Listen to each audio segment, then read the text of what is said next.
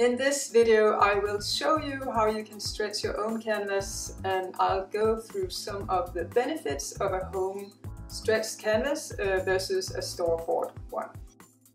Please follow the link below for my online painting lessons at krhartlessons.com. So why would you want to add extra work to your studio practice by stretching your own canvases? Uh, let's go through some of the pros and cons. It's more affordable. You can save a lot of money uh, in the long run. You can get a higher quality canvas with sturdier stretcher bars and a much nicer painting surface. You can create exactly the surface that you want uh, and not rely on what kind of prepared canvases are available at your art store. There are many kinds of both linens and canvases um, or canvas fabrics out there that's available. Also, there are quite a few different kinds of gesso options, both store-bought and the, the ones you can make yourself. Let's not forget uh, to mention the cons. Stretching your own canvas is a skill that you develop, but it doesn't uh, have to take that long to learn and really anybody can do it. You have to invest in a few tools, uh, some of which you already might have at home. I stretch all my own canvases and have done for years. I really think it's worth it and I have to admit that I just really don't like the store-bought canvases. I don't like the surface to paint on and I also kind of think there's something really satisfying about building your own canvases. Uh, you should try it at least once. So let's get started. So this is what you'll need. A mallet, not to be confused with a mullet, a stretcher tool, and a staple gun and staples, a long ruler, 45 degree ruler, a pencil, scissors, water spray and an iron, and of course canvas fabric and stretcher bars. And here's a quick summary of the workflow. Now we can begin. Number one, connecting the stretcher bars. I'm laying out the stretcher bars, making sure that they're all the same way up.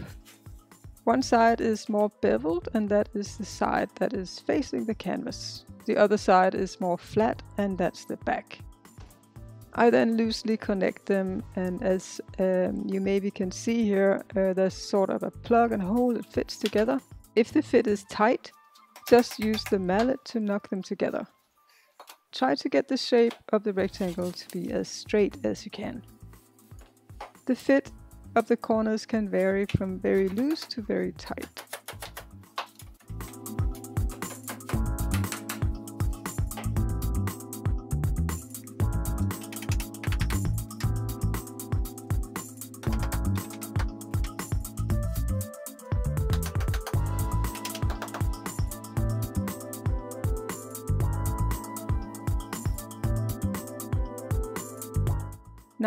To get the rectangle corners to be as close to a straight 45 degree as possible, I'm going to be using the triangle ruler as a help. I'm placing it on top of the corner, which will help me see if the corner is off.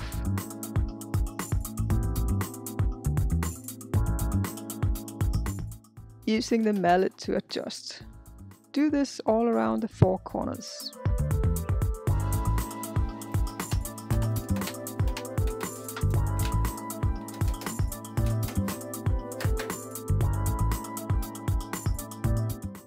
You can also sometimes use a ruler or measuring tape to check if the length is the same on both sides.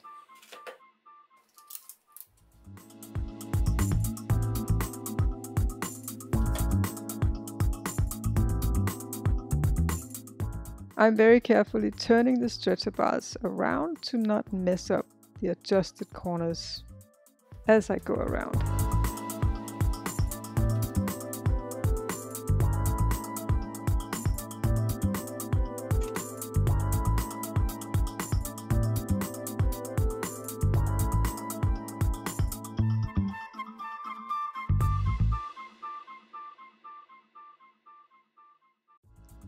I fix the corners with three staples on each corner. This is to keep the shape for when I start stretching.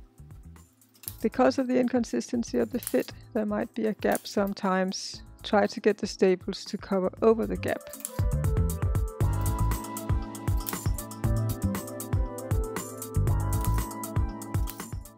I think this is good.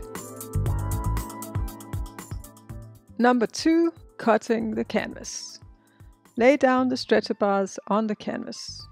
But first make sure the fabric is laying with the front side down and the back side up. And just to remember what is back and what is front, you could mark the back with a pencil. You can tell the back side of the fabric because it's more fuzzy, it's not as smooth as the front, um, which you'll be painting on. Uh, now also make sure the stretcher bars lie parallel to the weave lines of the fabric. I'm going to measure out a trim edge about 3.5 inches or 8.90 centimeters around the stretcher bars using the triangle ruler you may get away with a bit less fabric, but you need enough to be able to pull the fabric with the plier. This also depends on how thin your stretcher bars are. Commercial canvases have less trim because they are machine made.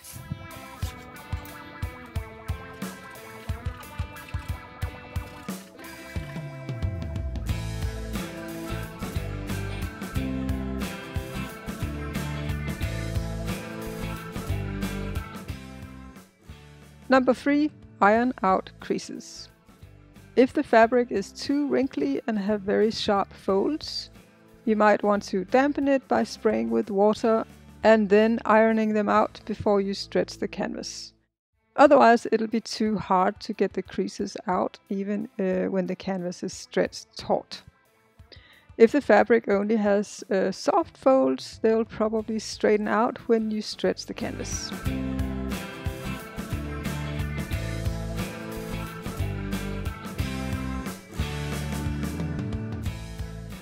Number 4. Mounting the canvas. Place your fabric on the floor with the front side down and the back side up. Place the stretcher bars on the fabric with the beveled side down. When we stretch the fabric around the wooden bars, uh, it's important to do it around the rounder side, the beveled side, um, because uh, the sharp edges on the flat backside could actually tear into the fabric over time. I am using one staple on the center of the length on each side. First one, then stretching and stapling on the opposite side.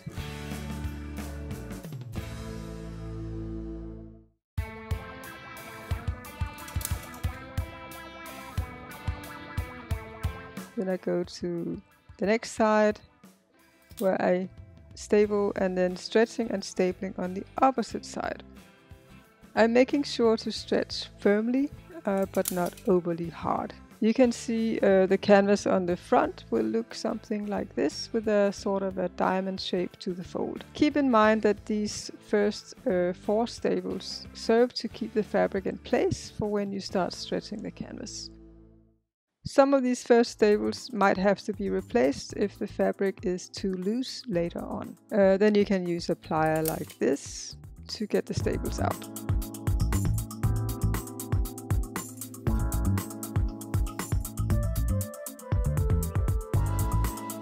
Here I'm measuring and making small pencil marks for where the staples will go.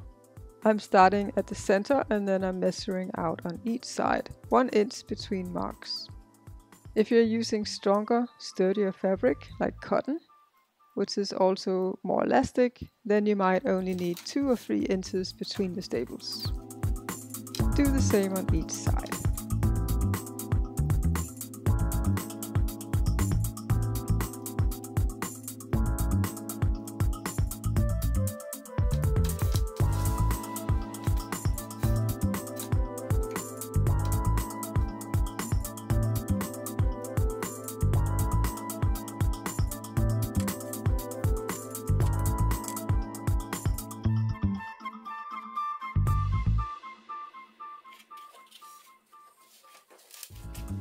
You can see that I'm writing the numbers 1 and then opposite 2 then 3 and then opposite 4.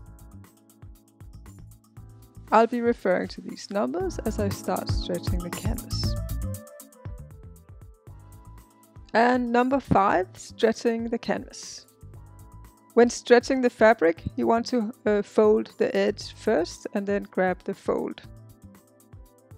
Uh, otherwise it's too easy to tear the canvas. When grabbing and pulling the fabric with the plier, hold it straight and perpendicular to the stretcher bar. Don't pull so hard that the fabric tears or changes the weave pattern. Starting on side number one, work out from the center, adding staples four at a time, meaning two on each side of the center, then switch to the opposite side of the canvas and do the same. Then rotate to side number 3, do the same, and to the opposite side number 4, do the same here. The idea is that when you pull and stretch on the opposite sides, the tension is in a straight line.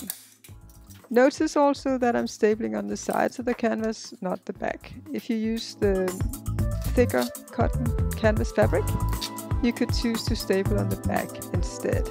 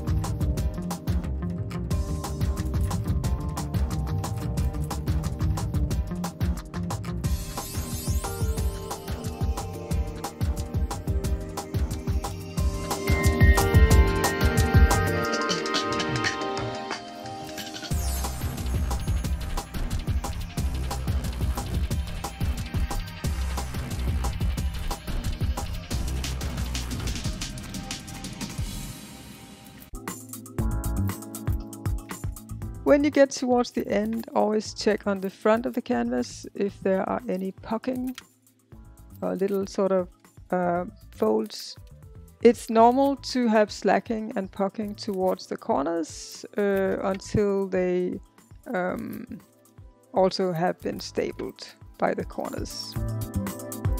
So at this point, you can use more force to get a good stretch for the staples by the corners.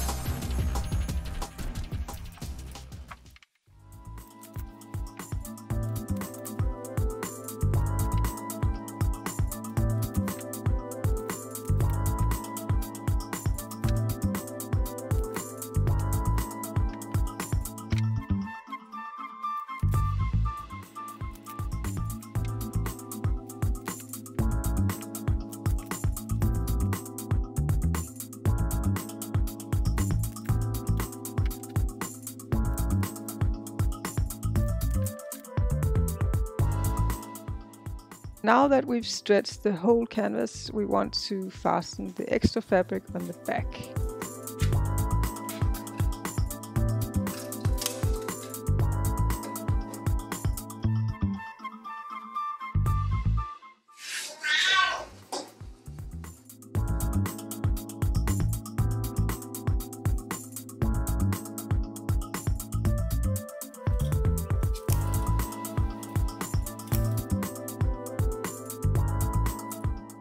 I'm first folding a small hem before I fold the corners, because otherwise there'd be threads hanging.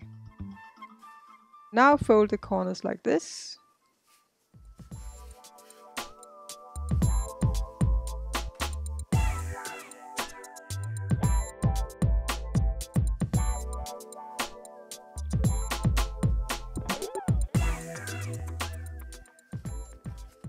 and then staple them down. It can get a little bit bulky sometimes.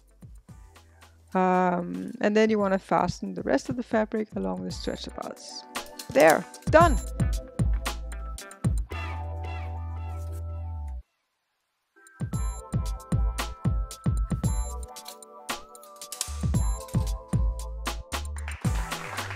If this video was useful or interesting to you, please like and subscribe. I also love to read any comments you might have in the comment section below. Thank you for watching.